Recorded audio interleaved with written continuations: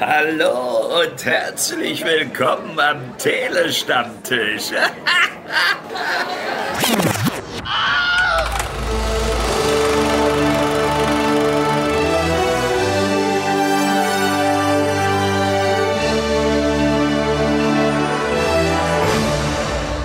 Actionfilme werden angeblich handwerklich ja immer schlechter, so scheint es. Dabei liegt die Zukunft des Actionfilms doch anscheinend im Handwerk selbst. Zumindest gab es in den letzten Jahren einige Filme, die davon handelten, dass unter irgendeinem handwerklichen Decknamen irgendwelche Untergrund super speziell Best of the Best Killer agierten. Da gab es den Mechanic, da gab es den Bricklayer, da gab es den Accountant und jetzt gibt es ihn, The Beekeeper. Hallo, ich bin's du und ich habe zwei linke Hände und begrüße euch zur Besprechung von The Beekeeper.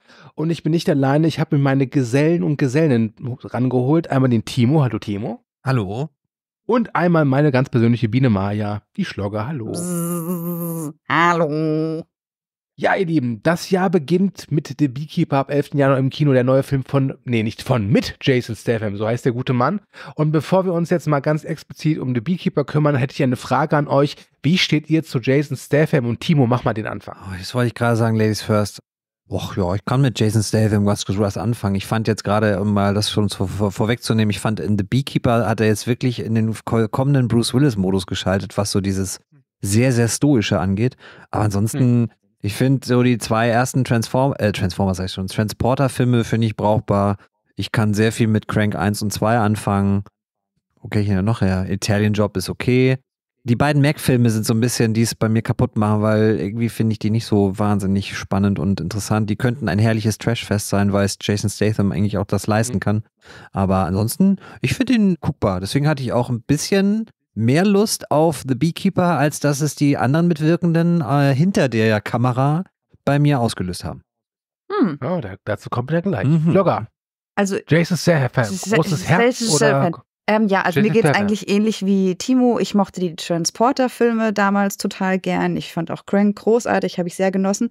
Und mir ist dann aufgefallen, hier Beekeeper war der erste Kinofilm des Jahres 2024 für mich. Und 2023 war der erste Kinofilm des Jahres auch ein Film mit Jason Statham. Und zwar in der Sneak lief Operation Fortune. Mm. Und den fand ich wirklich richtig scheiße. Der hat mich total oh. genervt. Aber ich konnte mich da ja mental auch nicht darauf einstellen, dass ich gleich einen Jason Statham-Film sehen will. Das heißt, ich werfe hier gleich die Theorien in den Raum, dass ich die Filme mit Jason Statham gut finde, weil ich mich darauf vorbereiten kann, dass ich gleich einen Film mit Jason Statham gucke, nicht weil die Filme an sich per se gut sind.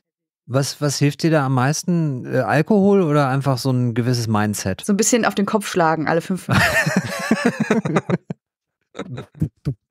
aua, aua, aua. So, Jason, komm. Finde ich gut. Sympathisch. Ja. Gut. Meine kurze Meinung zu Jason Statham. Ich, ich mag ihn. Ich glaube, wir sind uns einig, es ist jetzt kein herausragender Darsteller, aber er ist ein, also er ist einer der wenigen Leute, die noch wirklich dieses, dieses Label Actionstar am Revers kleben haben und das auch wirklich ausfüllt. Ich mag die ersten beiden Transporter-Filme. Ich finde Crank furchtbar. Ich mochte, ich, ich, ich mochte Operation Fortune. Ich fand Cash Truck ganz gut. Ähm, mhm ich muss sagen, ich hatte ein bisschen Schiss vor The Beekeeper.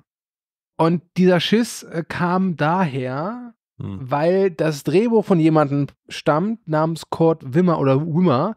Und der hat auch einen der größten Flops oder zwei der größten Flops des letzten Jahres verbrochen, nämlich als Autor Expendables 4 mit Jason Statham und als Regisseur den Kindern des Zorns Reboot. Deswegen hatte ich ein bisschen Schiss davor. Und wenn ihr wollt, können wir jetzt gerne äh, kurz erklären, worum es in The Beekeeper geht. Oder aber wir räumen das Feld von hinten auf und gehen mal ein bisschen auf den Drehbuchautor und den Regisseur ein. Was ist euch lieber?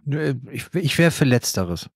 Echt? Ich hätte gerade gesagt, ach, die Story kann man doch so schnell zusammenfassen. Du hast ja dein Intro auch angeteased. Die rotzen wir hier, ja. quetschen wir zwischen. Ja, ja dann rotzt sie raus. Ja, also wir ja, haben hier, Rotz. ja, ich mit meinen kurzen Synopsen, wir haben hier Jason Statham, der den im Untergrund agierenden und aktivierbaren Beekeeper spielt der dann einfach aus, aufgrund von verarschten Senioren, die von kleinen Wolf of Wall Street Agenturen verarscht werden, aktiviert wird und auf einen Rachefeldzug geht. So. Ja, das ist soweit, ja. Man hätte noch den einen oder anderen Halbsatz rausstreichen können, aber das ist im Grunde die Story. Ja, es ist der neue Film von David Ayer, den kennt man vielleicht als Regisseur vom Suicide Squad oder von Bright oder als Autor von äh, Visa Training Day. Und das ist ein Mann, der seit jetzt knapp 20 Jahren wirklich so ja, die Fahne des Männerkinos hochhält. Männer. Bei ihm geht's meistens immer Männer, genau. Deswegen Aha. sei mal dankbar, Schlogger, dass du hier dabei sein darfst. Ja, ich Was weiß. Ist Mann, dein Mann. Aha. Genau. Hm. Der Herr Sein letzter Film war The Tax Collector, der hierzulande nur fürs Heimkino erschien der ganz furchtbar war. Und man muss auch sagen, seine Regie wie auch Drehbuch Vita ist sehr durchwachsen, mhm. hat ein paar Highlights. Also ich finde zum Beispiel Herz aus Stahl mag ich sehr. Timo, wie stehst du zu David Ayer? Ich glaube, so ähnlich wie du. Ich, der hat ja auch das Drehbuch zu Training Day geschrieben, hm. aber nicht Regie geführt, das war ja Foucault. Den finde ich ja, also der hat bei mir eine zweite Sichtung gebraucht, damit ich so den vollends, wie sagt man, appreciaten, wertschätzen konnte. Aber schon diesen Street Kings mit Keanu Reeves, den hat er, glaube ich, zum, das ist ja, glaube ich, sein Regiedebüt, den fand ich schon nicht so ganz so stringent. Nicht ganz, das war sein zweiter Film. Ach so. Sein erster Film war Harsh Times mit Christian Bale. Ah, guck mal, den kenne ich gar nicht. Also ich weiß, dass es den Film gibt, aber habe ich nicht gesehen. Ich habe Fury auch noch nicht gesehen, was ich ein bisschen bereue, weil viele sagen, das sei sein bester, denn ansonsten kenne ich von ihm wahrscheinlich von diesem Hit-or-Miss-Regisseur eher so die Misses. Also ich kenne hm. natürlich hm. den 16er Suicide Squad von DC, der mit Verlaub echt nicht gut ist. Das ist sehr milde formuliert. Ich kenne von ihm Sabotage, also diesen Schwarzenegger DEA-Film, ja. wo es auch Mörder-Kino gibt. Und Text Collector habe ich, Gott sei Dank, muss ich daher sagen, wenn du sagst, der ist scheiße, nicht gesehen. Was gab es denn noch? Dazwischen war noch irgendwas. Ach ja, dieser äh, Netflix-Film Bright mit Will Smith. Bright, hm. Den fand ja. ich auch nicht gut. Ihr merkt schon, ich bin eigentlich eher so, er hatte bei mir vielleicht einen Hit und sehr viele Misses. Hm. Ja, also mir geht's halt so, ich glaube auch, dass meistens ich seine Werke immer ein bisschen enttäuschend finde, aber irgendwie hat es sich bei mir nicht so abgespeichert. Mhm. ist immer so, okay, David Ayer, ich gucke mir das mal an, ne? Schlogger, du als hausinterne David Ayer-Expertin, was sagst du? Ja, ich als Expertin habe von den Filmen, die ihr gerade aufgezählt habt, hab zwei gesehen. Und zwar Suicide Squad. Und der war, da müssen wir gar nicht drüber sprechen, da sind wir uns alle einig. Und ich habe tatsächlich Fury oder hier Herz aus Stahl gesehen, der mit dem hm. Brad Pitt und dem Panzer. Und den fand ich ganz gut. Aber das muss nicht unbedingt am Regisseur liegen, sondern das war einfach das Sujet vielleicht. Ich weiß. Oh. Also ich kann leider nichts über, über ihn sagen und ich wusste auch im Vorhinein nicht. Es wird ja auf dem Plakat gesagt, hier Beekeeper von dem, von Suicide Squad haben sie ja genannt als Werbung und da war ich schon kurz hellhörig und dachte, oh, den benutzt ihr für Werbezwecke? Ja, das ist ja mutig. Mhm. Ich glaube, der zweite war, den habe ich noch vergessen, diesen End of Watch, diesen Found Footage ja, Kopffilm genau. mit Gildenhall und Michael genau. Piana, ne? Den fand ja, ich ja. so mittelgut. Also, da, da muss man sagen, da, da, man merkt an David Ayer, finde ich so ein bisschen, dass er sich an sehr viele Trendgimmicks so ranhängt. Und das war natürlich Found Footage, so in den Jahren, in denen das kam, war das natürlich dann so der heiße Scheiß. Und da haben sich dann viele Regisseure mal draufgesetzt und ihre Sachen probiert. Und ich fand End of Watch, ich glaube, ich fand den ganz okay, bisschen, also ich fand den sehr hart, aber gleichzeitig ist das halt auch so, da war der gute Ayer oder eher da in seinem Sujet, da war er nämlich bei Männern, Cops, die in die wirklich viel Scheiße durchleben müssen und deren Anteil, also er zeigt halt dann so einen Alltag eines Cops in, in, in, in seinem Revier, beziehungsweise in seinem, wie heißt das denn, in seinem Gebiet da, in seinem, da wo er Streife fahren muss und so weiter. Und das ist natürlich irgendwie Training Day mit Found Footage so ein bisschen und da sind natürlich viele krasse Typen mit Hammersprüchen und viel Drogen kursieren und man weiß mal gar nicht immer, und das ist ja auch so ein eher Ding, wer sind jetzt eigentlich, oder, oder wie böse sind die Bösen? Die sind nämlich immer ultra böse und dann kommen aber die Guten und die sind aber auch schon, die nutzen Mittel, die ja auch jetzt nicht nur an der Grenze sind, sondern die auch drüber hinaus sind, also auch schon wieder illegal sind und deswegen, das ist so auch, finde ich, sein Thema und da sind wir, finde ich, voll beim kleinen Imker Jason Statham. Da ist er, also da ist die Brücke eine kurze.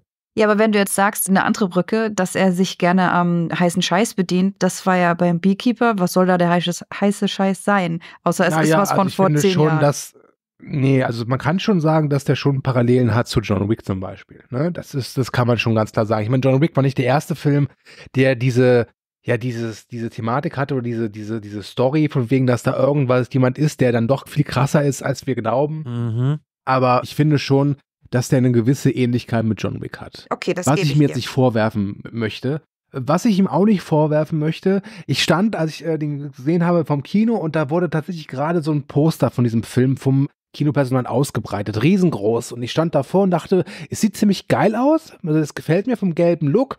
Und dann steht da Jason Statham, der Beekeeper, und darunter dieser schöne Satz, wenn das Gesetz versagt, sorgt er für Gerechtigkeit. Und ich dachte mir so, boah, das ist vermutlich eines der generischsten Sachen, die ich seit langem auf dem Filmposter gelesen habe. Und ich glaube, das trifft den Kern des Films. Dieser Film ist, ohne es böse zu meinen und wertend, aber er ist antigenuin, er ist komplett generisch. Oder findest du, Timo, dass da irgendwas an dem Film dran ist, wo du sagst, so, ja, das ist mal ganz erfrischend?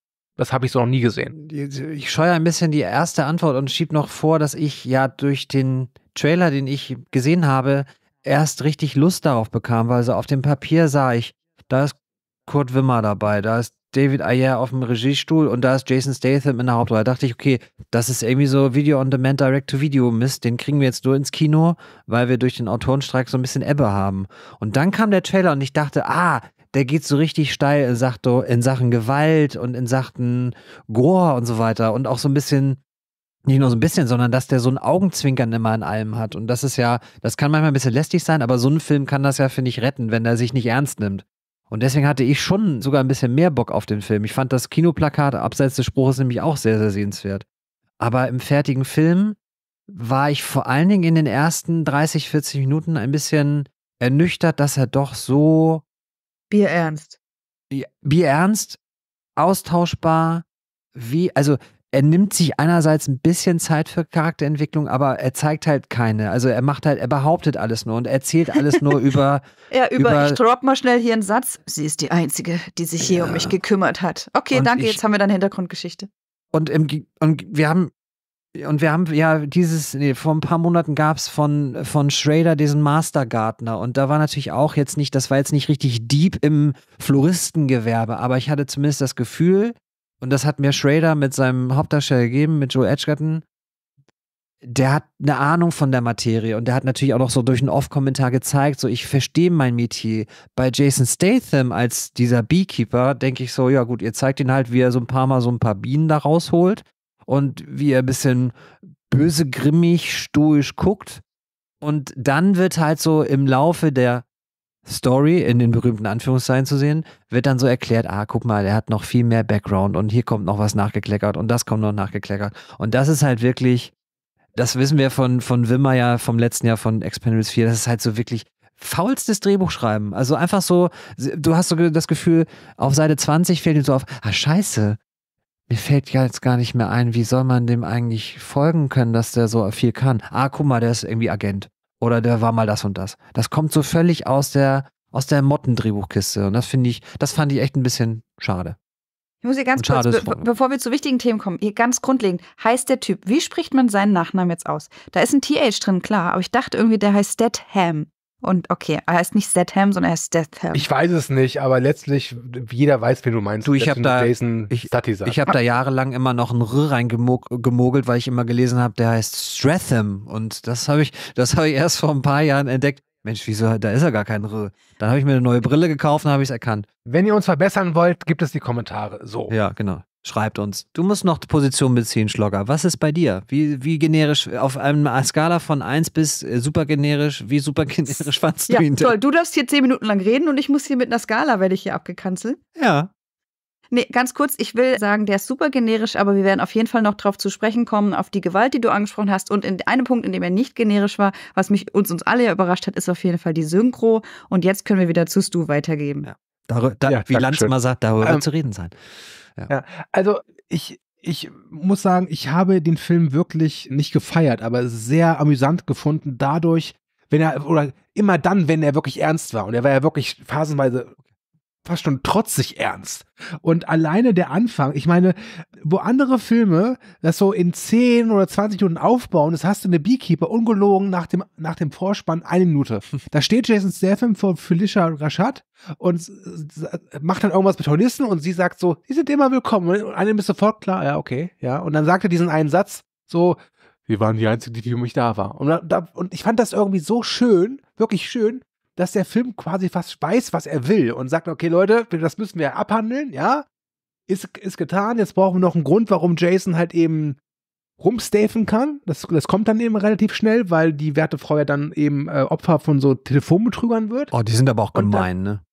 Die sind auch gemein. Was für Arschlöcher. Da, Und da kommen wir jetzt mal zur, zur, ja, das ist eine Überleitung, ich weiß es nicht, aber lass uns mal bitte über die Schurken reden. Gerne. Denn Ja, nicht so ähm, gerne. wir sind es ja normalerweise gewohnt von Jason Statham, dass er ähnlich knallharte Motherfucker wie er einer ist, umnietet. Aber in The Beekeeper sind die Gegner, ich sag mal so, der Hauptantagonist wird gespielt von Josh Hutcherson, der sich in den Tributen von Panem da, dadurch ausgezeichnet hat, dass er sich verkleidet hat als Baum. Mhm. Ich, es ist jetzt, seien wir, seien wir ehrlich, uns ist allen klar, im Kampf Mano a Mano, Jason gegen Josh, würde ich meine 50 Cent auf Jason setzen. Deswegen fand ich es ein bisschen zu Beginn wirklich seltsam, weil ich das Gefühl hatte, okay, der bekommt hier eigentlich gar keinen richtigen Gegner. Und dieses Gefühl hat mich auch nie verlassen während des Films. Schlogger, wie war es bei dir? Ja, dadurch, dass wir wissen, dass wir hier so ein reiches Muttersöhnchen haben, der irgendein Startup sich aufbaut, wissen wir, dass es einfach nur darum geht, wie sich Jason durch eine Menge Kanonenfutter durchmetzeln wird. Und man möchte es nicht, aber man könnte hier ja so ein bisschen Systemkritik aufwerfen.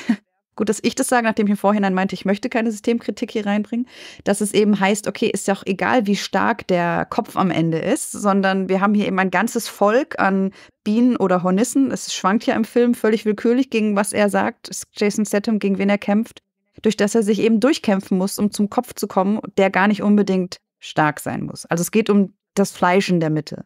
Das hat mich deswegen nicht gestört, dass hier unser kleines Muttersöhnchen das Ende sein wird.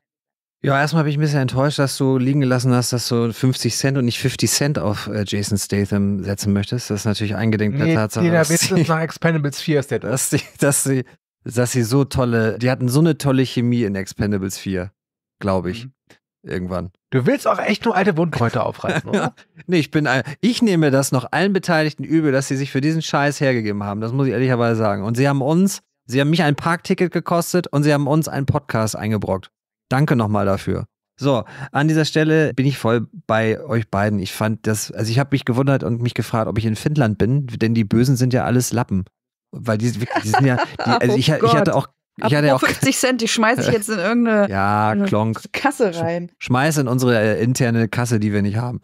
Äh, Ich konnte mir von Anfang an nicht vorstellen, dass Josh Hutcherson und oder Hutchinson und, und Jason Statham am Ende wirklich einen Faustkampf sich liefern können. Ich werde jetzt nicht Aber es wäre spoilern. lustig gewesen, oder? Ich, ich will jetzt auch nicht spoilern, ob das passiert oder nicht. Deswegen ist so die Vorstellung immer so, weil auch diese, diese Figur so porträtiert wird als wirklich komplette moderne. Und da muss man wirklich vorsichtig sein, weil es irgendwie so eine zweite Dimension hat. Aber es ist halt wirklich so ein, so ein moderner, hipper, soll er ein CEO sein, auf jeden Fall ein Unternehmer, sagen wir es mal so, der dann mit dem Skateboard durch seine Firma fährt und sich dann irgendwie erkundigt, ob von dem von der Hafermilch schon wieder was da ist. Also wirklich so, es schreit dir ins Gesicht, so dass es so ein typischer Starbucks mit dem MacBook da sitzender Dude und das wollen wir natürlich nicht, weil das ist natürlich ein gutes Feindbild für reaktionäre, konservative Kreise. Und das fand ich dann schon ein bisschen am Anfang amüsant, je weiter man sich das vorstellt und je weiter man das Rad dreht, und da kommt ja eine Dimension später noch hinzu, die wirklich das Rad, das große Rad dreht, desto eher dachte ich, oh Alter, das ist jetzt aber nicht. Also wieder da mein Bild vom Anfang, man hat wieder das Gefühl, es wird so nachgekleckert. Also es kommt so ganz viel an Ideen noch während des Schreibprozesses hinzu und es wird nicht so richtig, es fühlt sich dann für, oder fühlte sich zumindest für mich nicht so richtig komplett kohärent und organisch an.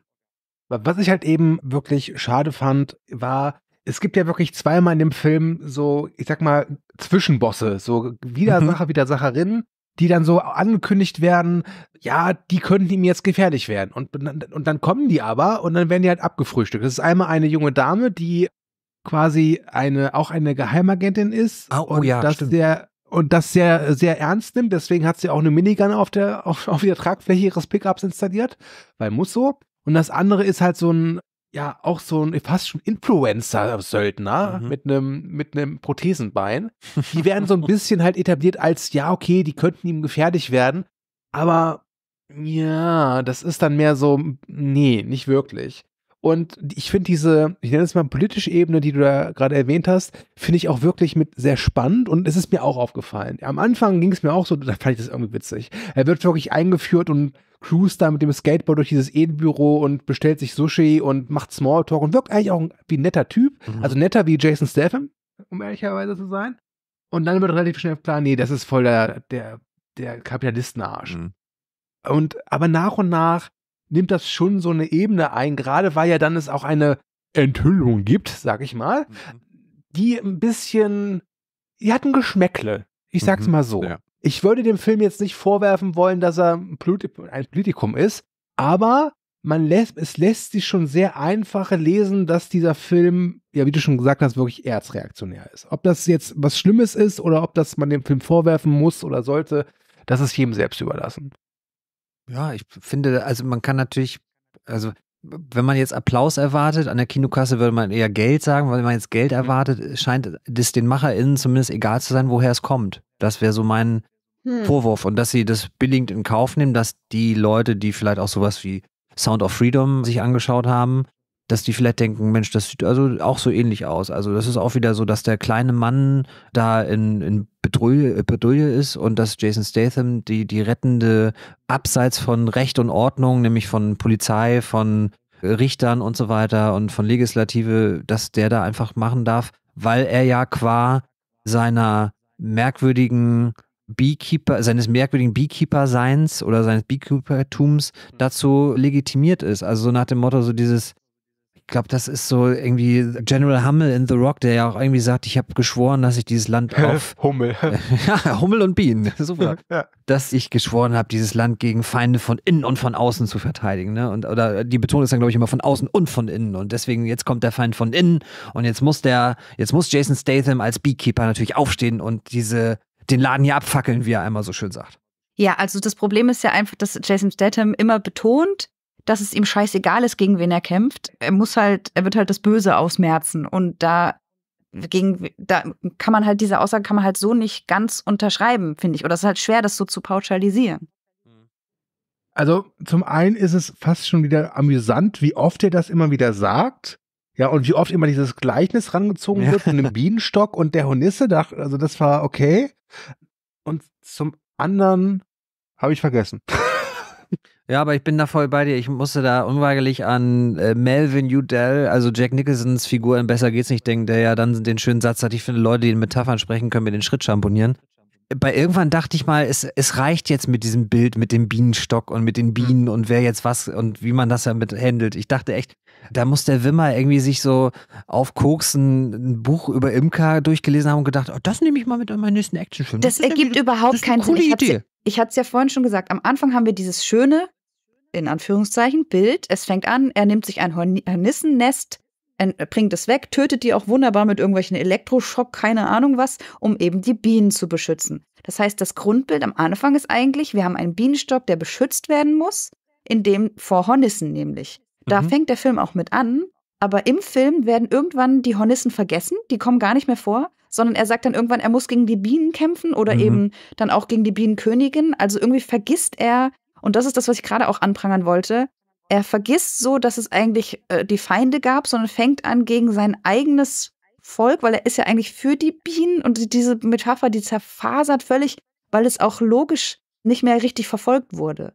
Ich meine, es ist ja aber jetzt nicht wichtig, er sagt doch aber irgendwann, ja. er sagt doch irgendwann auch andauernd so, ja, aber manchmal muss eine Biene eine Königin umbringen, mhm. weil wenn der Stock irgendwie ja, wenn, in Gefahr ist. genau, aber der Twist von Hornisse zu Bienentötung, der war, ja, den, der war nicht logisch erklärt. Wobei, wie, man muss ja jetzt nicht mit Logik kommen bei so einem Film, aber also, wenn man schon anfängt mit mich, der Beekeeper, dann kann man das auch logisch ja, durchziehen. Aber da würde es mich logisch mehr stören, dass er halt immer so tut, so als wäre der, der Gute. Mhm. Aber ihr könnt mir nicht erzählen, dass bei seinen Aktionen Kollateralschäden äh, en masse passieren. Also mhm. er sprengt ja wirklich ein ganzes Bürogebäude in die Luft. Und es wird nicht explizit gesagt, dass alle Büros da von den Bösen sind. Und selbst wenn, man darf nicht vergessen, da ist vielleicht eine Sekretärin, ja, die hat sich gerade, die, der, der ja, hat aber den Job Luke Skywalker ne? hat auch den ganzen Todesstern in die Luft gejagt. Waren denn alle, die da gearbeitet haben, per se böse oder war da auch ein Klempner dabei und ein, es ein guckt der Clerks von Kevin Smith an, da wird es perfekt erklärt. Das muss ich jetzt hier nicht aufdrücken. Es, es, war, es war nicht alles schlecht im Imperium, müsste man an dieser Stelle sagen. Genau. Ist es nicht so, dass er mit den, er hat, er hat doch zwei Benzinkanister in der Hand und sagt hier, können Sie mich mal anmelden, ich muss jetzt hier zu dem Boss und fackel jetzt hier den Laden ab. Und sagt sie dir nicht sogar sowas wie, ja, okay, und äh, guckt aber so nach dem Motto, ich melde sie an und dann geht sie aber auch raus. Also so, ich, ich glaube, er hat immer wieder Momente, wo er in diesen Callcentern ist, die er da aufsucht, wo er immer zumindest ein Minimum an Chance gibt zu sagen, geht raus. Was ich, wo ich immer aufpassen musste, waren dann Szenen, in denen Bad Guys dabei waren und noch wie heißt das so schön, Beamte von irgendeiner Staatsmacht, also wo irgendwie Agenten oder FBI-Beamte oder Agentinnen da waren.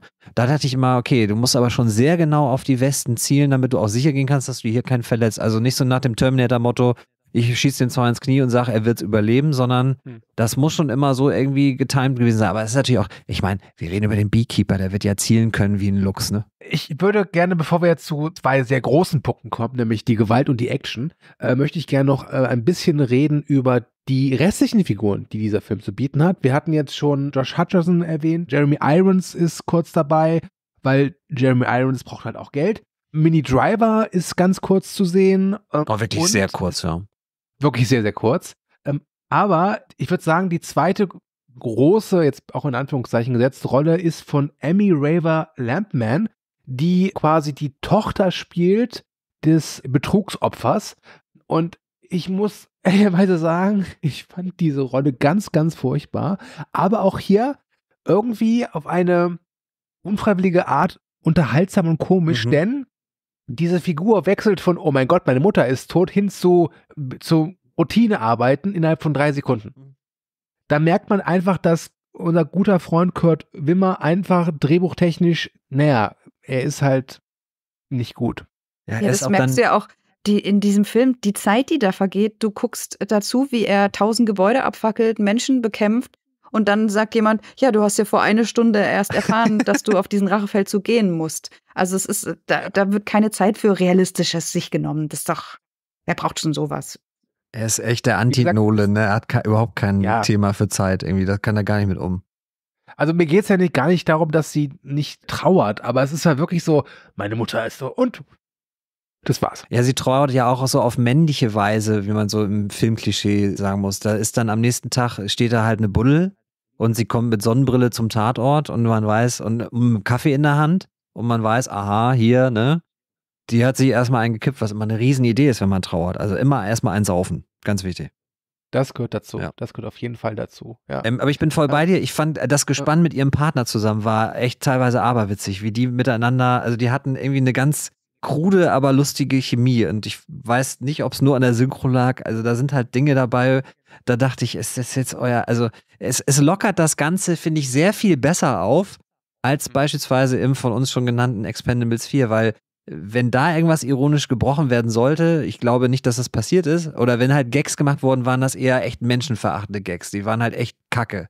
Und hier sind die so, sind die so gaga, dass du denkst, ja gut, also ihr hebt für mich den Film jetzt, enthebt ihn so ein bisschen der Realität, um ihn gleich wieder mit anderen Sachen wieder da zu verorten. Wobei man ja sagen muss, vielleicht erklärt Ironie oder falsch verstandene Ironie einiges bei Expendables 4. So nach dem Motto, nein, ich hätte dass ich gesagt habe, die Explosion soll aussehen wie auf einer PlayStation 2, war ironisch gemeint, du Dödel. das hätte, könnte einiges erklären. Das kann auch sein. Naja. Ja, aber können wir da gut. jetzt nicht, apropos Ironie, okay, du hast gerade gut gesagt, Stu, du wolltest zu irgendwas überleiten, soll ich dich ignorieren? Ja, ich wollte, okay. nein, du bist jetzt mal ruhig, jetzt, ich bin die Moderation hier. ja, dann mach das doch auch mal jetzt. Ja, das freu, ich freue mich jetzt schon auf eure erste Folge Schocker mit Schlogger. Das wird richtig gut. Also, wenn ihr da so ja, harmoniert, das, das, ich habe ein gutes Gefühl. Ja, und ich erst.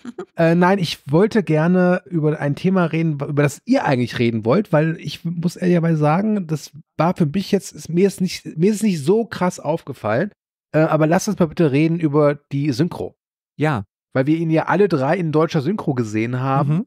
Mhm. Und ja, Timo Schlogger, was habt ihr zur Synchro zu sagen? Willst du zuerst? Aber wenn ich das sage, ich, ich finde, die Synchro hat für mich den ganzen Film gerettet, um das mal so zu sagen. Weil die hat, die Bösewichte sprechen auf so einem trashigen, so Bud Spencer, Terence Hill, 80er Actionfilm-Level.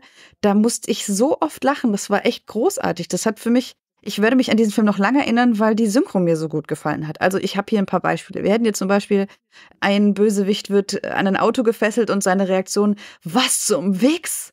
Oder ein Gegner spricht über Jason Statham und sagt, der hat uns damals ganz schön die Gurke geschält.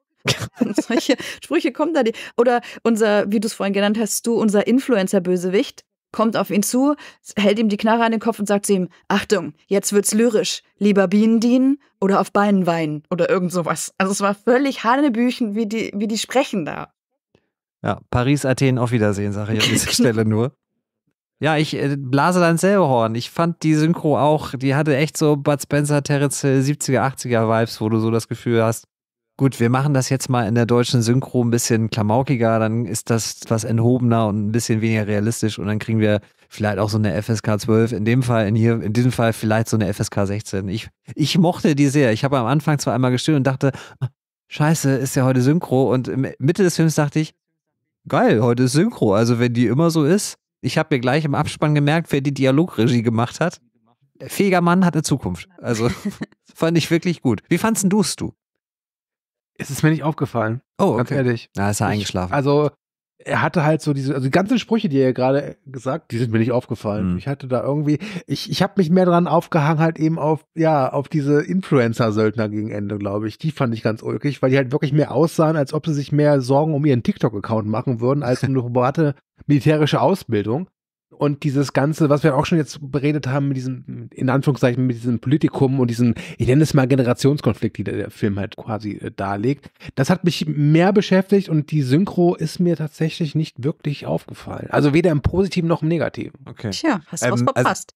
zu, zu den Schurken oder zu diesen ganzen Influencer-Bösewichten, wie du es nennst, das ist ja ähnlich auch wie die Figur von Jeremy Irons. Die sind halt, finde ich, so drüber gezeichnet, dass du, also allein wie Jeremy Irons da einmal so einen Monolog hält, dass quasi diese Beekeeper so sensationell gut sein und dass er da irgendwie so, so, so mega super duper Söldner vor sich hat und dann quasi endet mit, Ja. ja, ihr seid Weicheier oder ihr seid irgendwie Abschaum oder ich weiß es gar nicht mehr. Das war halt auch wieder so. Irgendwie hatte entweder, ich weiß nicht, ob es die Synchro war oder ob sich halt Ayer oder Ayer gedacht hat, ich gehe so drüber mit vielen Sachen, damit das so ein bisschen ironisch gebrochen wird. Und Aber so, Ja, ja. ich habe es diese, auch gar nicht diese verstanden. abgefuckten Typen, die sind ja auch so, finde ich, typisch für seine Filme. Also in Sabotage war ja nun die ganze Runde irgendwie, waren das ja alles Mhm. Motherfucker, würde er wahrscheinlich sagen. Und die waren immer so, hatten irgendwie so Rasterzöpfe und Dreadlocks und so weiter. Und das findet halt irgendwie, er findet das cool anscheinend, wenn man so edgy ist und Tattoos trägt und so, was äh, 2023 oder 2024 vielmehr auch noch total edgy ist.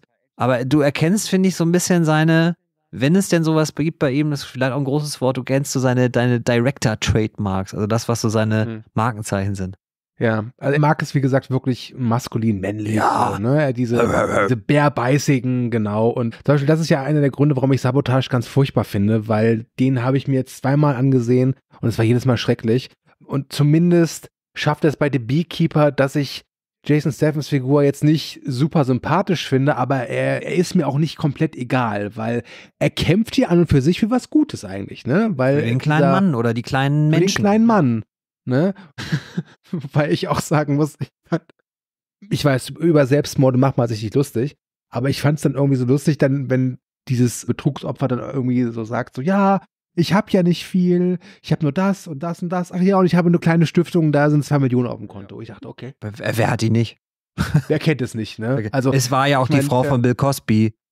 ja, ne? also ihr werdet es kennen, als ihr beide als Eltern, als Elternversammlung legt man zusammen, zack, zwei Millionen auf dem Konto, wer kennt es Das geht, Ja, schon- das äh, geht schon mal das schnell. nicht? Ist das, also verstehe ich jetzt nicht. Ich Nee, weiß gar nicht, was, es hier jetzt geht. Ich habe mehrere Raum Millionen Köln- im Konto. Im Raum Köln, Rheinland, Rheinland-Pfalz, schon Nordrhein-Westfalen ist, glaube ich, das Portemonnaie nicht so locker wie bei uns hier im Norden. Das muss Ah, okay, ich reibe gerade die, die Mitleidstränen mit ein paar Euroscheinen weg. sagen. Ich schneuze gerade in eine 500-Euro-Note. Äh, Da wollte ich noch eine Sache zu sagen, weil ich fand da auch das wieder, ey, we- wenn dann die Tochter, glaube ich, erzählt, das war so eine lebensfrohe Figur, Frau, die hätte nie, die hätte, die hat nie an Selbstmord gedacht. Dann dachte ich so, okay, nur weil das, also nur in Anführungsstrichen, nur weil jetzt die ganze Kohle weg ist, muss man sich doch nicht gleich erschießen. Also, Ja, da hätte man ja vor dem, dem Jason mal sagen können, Jason, ich habe da ein Problem. ja genau, Ne? ich habe mich jetzt immer um Sie gekümmert, jetzt kümmern Sie sich mal um mich. Ich brauche zweieinhalb Millionen bis morgen. Hätten Sie die Zeit? Nee, ich habe hier, aber ich habe hier ein Glas Honig, das ich jetzt Weile mit mir rumtrage, weil es meine Ich Gefühle hier- darstellt. Ich habe hier flüssiges Gold. ja, dann können wir doch einen wichtigen Punkt auf jeden Fall noch. Wir sind jetzt schon wieder Action. bei fast 40 Also Minuten. ich habe sogar noch zwei Punkte. Zwei Punkte. Die Action auf jeden zwei Fall. Punkte, Action. aber die kann man tatsächlich, wenn man will, sogar äh, äh, miteinander Ja, abhaken. Action, Action und Gewalt. Genau, Action und Gewalt. Und wurde ja schon von Timo gerade erwähnt, dass die Macher vielleicht gehofft hätten, eine nicht ganz so hohe Freigabe zu bekommen. Hat nicht funktioniert. In Deutschland läuft der Film uncut der FSK 18. Kann ich verstehen. Mhm. Der ist nicht ohne, aber er ist auch nicht so brutal. Und ganz ehrlich, wenn ich bedenke, dass der letzte Equalizer eine 16er hatte, dann äh, hätte auch der Beekeeper eine 16er meines Erachtens bekommen können. Ich weiß, Schlogger sagt eh alles, was Action ist, FSK 6, da kennt die Frau nichts, aber Timo, was sagst du zu der Einstufung der FSK? Du hast den Referenzrahmen schon genannt. Ich finde, seitdem Equalizer 3 mit, mit Denzel Washington, ich kann mir nach wie vor nicht erklären, der, der kommt ja wirklich, das haben wir in der Besprechung ja auch damals gesagt, das ist ja fast schon Slasher-like und manchmal mhm. ist dann eine große Spur oder eine gehörige Spur Sadismus bei Robert McCall dabei. Und die FSK mag doch offensichtlich keine Selbstjustiz dann verstehe ich im Nachgang die FSK 16 für The Equalizer 3 nicht so sehr. Die von The Beekeeper finde ich, ich kam, wir kamen ja aus dem Kinoschlocker und ich zusammen und ich dachte, hm, für FSK 16 ganz schön doll. Und dann las ich dann, ich glaube, ein paar Tage später bei dir, hattest du eine News gepostet, dass er doch jetzt eine FSK 18 hat und das kann ich durchaus nachvollziehen. Und nicht nur wegen der Thematik, sondern da sind halt schon so die einen oder anderen Härten dabei und die kommen auch sehr, sehr schnell aufeinander. Und dann gibt es einen doch relativ langen, auch wie ich finde, gut gefilmten und gut getimten Fight zwischen einem, dem, dem von dir genannten Influencer, Bösewichten und Jason Statham. Und der ist dann schon so am Ende, dass man denkt, ja, das, das ist für mich, das reicht für mich an elf, für eine FSK 18. Ich meine, wir hatten vor ein paar Wochen Silent Night von John Woo und da habe ich jetzt auch bei der FSK 18 gedacht, naja, also da gab es schon eine eklige Szene, aber der Rest war jetzt eher für mich so 16er und ja. dann, glaube ich, kommt dann diese Thematik Selbstjustiz zum Tragen. Und ich finde auch tatsächlich, und danach darf ich doch auch was dazu sagen, ich bin ja kein Unmensch, aber ich finde tatsächlich, dass der Beekeeper auch teilweise auch sadistische Tendenzen hat. Mhm. Also es wurde ja schon diese eine Szene genannt mit diesem was zum Wix, wo der Bösewicht das sagt, ne, mit dem, mit dem, mit dem Pickup-Truck und den Fingern. Das ist so eine Situation, so eine Situation gewesen, wo ich auch das Gefühl hatte, okay, das ist ja schon, schon ein bisschen sadistisch. Ich fand es nicht schlimm, aber ich kann die Freigabe verstehen. Ich frage mich halt nur, warum hat dann sowas wie Equalizer mhm. halt RWSK 16, der halt eben noch sadistischer ist. Ähm, ich meine, klar, bei Equalizer macht die Figur ja eine Art Wandlung durch, ne? Also, äh, aber trotz allem, also ich verstehe es nicht. Und Schlogger, jetzt darfst du was zur FSK sagen. Ja, als der Film anfing und wir die erste Action-Szene hatten, dachte ich, ah, okay, schade, es ist ein jetzt in tausend Anführungsstrichen harmloser Actionfilm. Wir werden nicht sehen, es wird immer weggeschnitten. Und je länger der Film ging, beziehungsweise nee, in der ex ersten Action-Szene schon, aber erst am Ende passiert mhm. dann was, was sehr implizit war. Ich sage nur was mit Fingern. Mhm. Und da war ich dann überrascht, weil ich das Gefühl hatte, dass die, die Implizität, ist das das richtige Wort, nicht durchgängig war ich weiß nicht, ob ein Actionfilm das jetzt immer haben muss, aber bei Gefühl bei jetzt John Wick oder so fühlt sich das mehr wie aus einem Guss an und hier manchmal so wie, ja komm, wir machen es vielleicht, ist FSK, ist eh FSK 18? Nee, wir schneiden weg, vielleicht kriegen wir ja FSK 16, aber dann zeigen wir hier wieder was ganz krasses. Das hat sich manchmal ein bisschen inkohärent angefühlt. Ja, ich, ja, ich weiß, was du meinst. Ja, also mir fehlte zum Beispiel auch, also er war brutal und manchmal saß auch ein bisschen Blut und er, er hat ja auch mal hin und wieder Leute gefoltert. Ich sag nur Tucker aber ich fand die ganze Action und die ganze Gewalt, da fehlte mir so eine gewisse Intensität. Mhm. Ja, und ich bin da, ich habe wirklich auch das Gefühl gehabt wie Schlogger. Ich dachte am Anfang so die erste Action-Szene, dass sie da ähnlich wie damals bei Expendables 3 so ein bisschen auf ein PG-13 geschielt haben. So nach dem Motto, wir probieren es mal aus. Vielleicht geht es ja auch durch und ich kann mir auch vorstellen, dass man diese Handszene ja auch ein bisschen anders hätte drehen können, sodass man nicht das sieht. Mhm. mhm. Und aber im Laufe des Films, finde ich, nimmt gerade so bei den Shootouts das so ein bisschen zu. Fand, oder lustigerweise fand ich diese von dir vorhin angesprochene Killerin, die da irgendwie völlig aus dem Nichts auftaucht ja. und dann mit der Gatling herumballert. Ich dachte halt immer so, dass Geheimagentinnen so ein bisschen unauffällig sein müssten. Und dann kommt die da mit so einem Iro an, blau gefärbte Haare, glaube ich, oder grün gefärbte Haare und ich dachte, Mensch, das ist jetzt mal richtig gute Tarnung. Also du bist bestimmt ganz unauffällig, wenn du so auf auf die Pirsch ja, gehst. Das ist einfach so, so, so, so, ein, so, ja, so ein Wissen, was wir glauben zu haben wegen Filme, aber in der Realität sieht das anders aus. Meinst du, die haben alle Realität haben Geheimagenten immer, ja, pinke Irokesen, okay. große Knarren auf dem, auf dem Rücksitz liegen. Das ist eigentlich Untergrund Geheimdienstarbeit. Ja. Ja. Dann werde ich bei den Punks demnächst immer sagen, bist du Agent?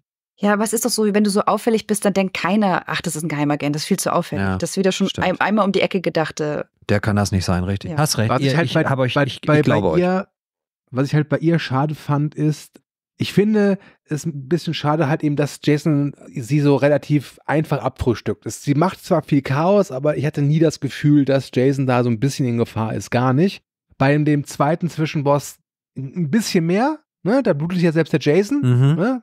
Aber Ach, ich, ich, ich mag es gerne, wenn so Actionfilme so eine Art Zwischengegner haben, aber dann muss ich auch irgendwie investiert drin sein, auch zumindest ein bisschen das Gefühl haben, dass der Held in Gefahr ist. Und Jason Statham ist halt so, also fast schon so ein bisschen wie Steven Seagal, muss ich sagen. Also du mhm. hast halt nie, du, nie Angst um die Figur, so richtig, ne?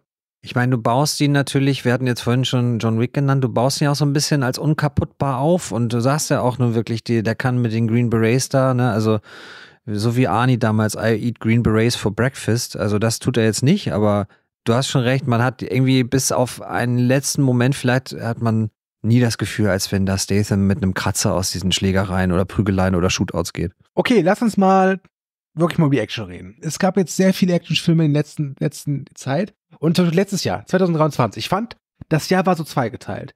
Das fing richtig stark an, da gab's richtig geile Actionfilme. Extraction 2 fand ich toll, Mission Possible gab es, John Wick 4 natürlich. Und dann kam aber auch so Kropzöck wie Freelance, Retribution oder den schon mehrfach erwähnten Expendables 4. Und ich finde, dass The Beekeeper in Sachen Action einen routinierten, einen soliden Job macht. Der ist meistens relativ gut geschnitten, nicht perfekt geschnitten, aber zumindest hatte ich oft das Gefühl, okay, ich weiß gerade, was passiert, bis auf ein paar kleine Ausnahmen. Tricktechnisch war er okay, da gab es vielleicht die eine oder andere Explosion, da hätte man gerne mal rangehen können, aber insgesamt fand ich, hat man gemerkt, die Leute, die daran gearbeitet haben, die kommen aus dem Metier und haben auch eine gewisse Ahnung. Das soll nicht viel heißen, ich wiederhole Expendables 4, aber Timo, wie hat dir die Action gefallen? Ja, ähnlich wie dir. War solide, nichts, was jetzt herausragt. Ich finde, Gatlinger ist immer ein Eyecatcher bei solchen Action-Szenen, das ist dann okay umgesetzt. Aber wie wir es schon angedeutet haben, es gibt halt, finde ich, so einen besseren Fight, der so ein bisschen Hand-to-Hand-Combat ist. Der Rest ist halt sehr viel mit Messer, sehr viel mit Knarren und das fand ich okay. Also ich würde jetzt nicht sagen, das war jetzt für mich ein Action-Highlight. So die, die, dieses Gesamtkonzept mit inklusive Synchro, inklusive völlige Überhöhung von einigen Figuren, äh, das war dann für mich unterhaltsam. Aber die Action war jetzt sicherlich nicht das Hauptaugenmerk, weswegen ich eine Kinokarte lösen würde. Wie war das bei dir, Schlager? Ja, würde ich auch so sagen. Es war, ich, aber es ist auch nicht, mir ist es auch nicht negativ aufgefallen. Also war solide, Punkt. Ja. Es ist schön, wenn wir uns alle dreimal so einig sind. Ja, ne? Das gefällt mir. Ich finde, das ist ein gutes Gefühl, um den Podcast hier vielleicht enden zu lassen. Außer ihr habt außer euer Fazit noch irgendwas, was ihr loswerden wollt. Dann könnt ihr jetzt reinrufen. Nein. Nö. Perfekt, dann können wir zu einem Fazit kommen. Ja, dann, wer will denn anfangen von euch beiden? Ich kann das gerne machen. Ich habe nämlich, glaube ich, gar nicht so viel zu sagen und werde mir überlegen, was ich sage, während ich diesen Satz hier beende. Und zwar, ich fand Beekeeper, wie gesagt, wegen der Synchro sehr erinnerungswürdig. Die hat mir einfach total gut gefallen. Und ansonsten war das ein Film, den ich nicht unbedingt empfehlen würde, weil er manchmal weder Fisch noch Fleisch ist. Es war ein nettes, erst ein netter erster Kinofilm für dieses Jahr und ich würde allen empfehlen, den auf Deutsch zu gucken. Ich habe da gar nichts groß zu sagen, weil dieses Fazit soll genauso sinnfrei bleiben, wie der Film es auch war. Ja, also bis, bis auf diese inhaltliche Unwucht, die ich da manchmal spüre, hinsichtlich der äh, fragwürdigen Drehbuchentscheidungen und der dieser Bösewichtseite, die einfach so merkwürdig, na nicht diffus, sondern die einfach so so so viele viele Stereotypen, die so in den in, man würde auch in den Kreisen sagen Mainstream-Medien so rumgeistern, dass das so mitgenommen wird, ist das halt wirklich ein ganz solider und gleich zu Expendables 4 auch, wie ich finde, deutlich unterhaltsamerer Film. Man muss halt dieses, man muss ein bisschen Hirn ausschalten, ist eine sehr häufige Empfehlung bei Actionfilmen und ich finde, hier sollte es, wenn man das wirklich kann, sollte man das am besten tun. Dann hat man, glaube ich, eine sogar richtig gute Zeit mit dem Film. Dann kann man den sehr unterhaltsam finden, man kann sehr viel lachen in der deutschen Synchro. Ich weiß gar nicht, wie es im Original sein könnte. Mhm. Ähm, wie Schlogger schon sagte, schöner Kaltstart in die Action-Saison 2024. Es kann also durchaus noch ein bisschen schlechter werden oder deutlich schlechter werden. Es kann aber auch bestimmt ein bisschen besser werden. Drehbuch ist Schrott. Die Action ist solide, routiniert umgesetzt. Jason Statham tut das, was Jason Statham tut. Also altbewährtes. Der Film, da lässt sich gewiss eine, ein reaktionärer Generationskonflikt reininterpretieren. Wer das machen möchte, kann das gerne tun. Ansonsten ist das ein Film, der der hat mir Spaß gemacht. Nicht viel und nicht lange und ich habe ihn wahrscheinlich jetzt drei Minuten nach der Aufnahme auch wieder vergessen. Aber irgendwie war es schon, wenn ich ehrlich bin, so genau der richtige Januarfilm. Man ist auch so ein bisschen verkatert und so, so hat so ein bisschen auf Soul Food, würde ich sagen. Und das ist bitte Beekeeper. Ein dummer Film, vielleicht auch hier und da ein bisschen naja, erzreaktionär, aber letztlich, ganz ehrlich, das macht er das, was er machen, was Jason Statham halt macht. Also, wer will mehr? Dann Pech. Ich bin zufrieden. Hat bei mir großes, also nicht nur guilty, sondern guiltiest pleasure Potenzial. Wenn ich, dann muss ich natürlich vieles ausblenden, aber ich könnte mir das durchaus vorstellen, dass es irgendwann mal so ein, ich trinke jetzt ein Bier und gucke The Beekeeper-Film wird. Aber nur und auf Deutsch. Nur auf Deutsch. The Beerkeeper. Und ich wollte gerade den Gag natürlich machen. Und natürlich stelle ich mir neben meinem Bier ein Glas Honig zum Löffeln, ist ja klar, ne? Met.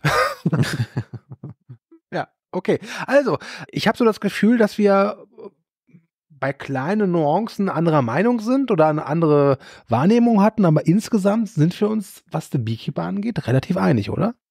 Anscheinend, klingt so, ja. Jo. Das ist schön. Harmonie. Das freut mich. Ja, wenn ihr euch den Film angesehen habt und seid anderer Meinung, könnt ihr das in die Kommentare posten. Ihr könnt auch in die Kommentare posten, wenn ihr sonst irgendwas zu bemerken habt oder wenn ihr es toll fandet. Das geht natürlich auch.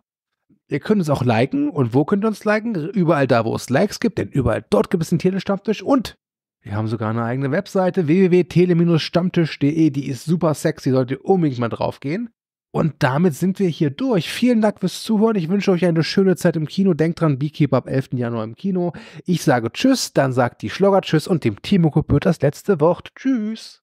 Tschüss. Ich mache noch ganz kurz Werbung und zwar nicht unbedingt für mich. Meine Sachen findet ihr auf schlogger.de. Ich schreibe Bücher, könnt ihr einfach mal angucken äh, sondern auch für die neue Reihe, die Stu und ich machen. Und es geht dabei um Horrorfilme. Beekeeper wird nicht dabei sein, aber Filme, die richtig Horror sind. Die nennt sich Schocker mit Schlogger, fängt ab dem 13. Januar an und wird immer am 13. jedes Monats erscheinen. Ich gucke mir Horrorfilme an, was ich eigentlich ein bisschen schrecklich finde und Stu ergötzt sich dann daran, mich dazu auszuquetschen. Oh, ja, ist das schön. Vielen Dank und ich freue mich auf die nächste Besprechung. Ja, ich möchte jetzt Imker werden und suche einen Bienenstock zum selbst basteln und kaufen. Schreibt mir bei Kleinanzeigen, wichtige Sache, was letzter Preis. Sehr geehrte Damen und Herren, wertes Publikum, liebe Hörende, vielen Dank für eure Aufmerksamkeit und Zeit. Ich hoffe sehr, euch hat gefallen, was ihr gerade gehört habt. Wir, die Redaktion des Telestammtisch, betreiben ein semi-professionelles Podcast-Projekt zum Selbstmitmachen. Also meldet euch bei uns, wir beißen auf. Außerdem freuen wir uns immer über Feedback via Social Media und E-Mail sowie euren finanziellen Support. Ebenso frohlocken wir förmlich über Bewertungen auf den gängigen Podcast-Plattformen. Wer möchte, darf uns gern immer und überall empfehlen. Alle relevanten Links findet ihr in den Show Notes. Vielen Dank und bis zum nächsten Mal. Euer Andi.